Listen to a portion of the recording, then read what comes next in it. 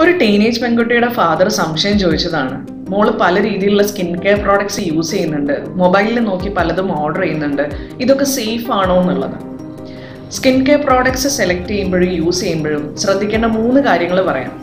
ഒന്നാമത്തേത് നമ്മൾ ഒരു ഡെർമറ്റോളജിസ്റ്റ് പ്രിസ്ക്രൈബ് ചെയ്തതോ അല്ലെങ്കിൽ റെപ്യൂട്ടഡ് ആയിട്ടുള്ള ബ്രാൻഡ്സിന്റെയോ പ്രോഡക്ട്സ് യൂസ് ചെയ്യുന്നതായിരിക്കും സേഫർ കണ്ടന്റ് ഏതാണ് ഇൻഗ്രീഡിയൻസ് ഏതാണ് എവിടെയാണ് മാനുഫാക്ചർ ചെയ്തത് ഇതൊന്നും മനസ്സിലാവാത്ത രീതിയിലുള്ള ലേബിളിംഗ് ഉള്ള പ്രോഡക്ട്സ് ഒന്ന് ശ്രദ്ധിച്ചേക്കുക. ചിലപ്പോൾ സേഫ് ആയിക്കൊള്ളുന്നില്ല. ആരുടെങ്കിലും റെക്കമെൻഡേഷൻ കേട്ടിട്ട് അത് യൂസ് ചെയ്യാൻ തുടങ്ങുന്നത് അത്ര സേഫ് ആയിക്കൊള്ളുന്നില്ല.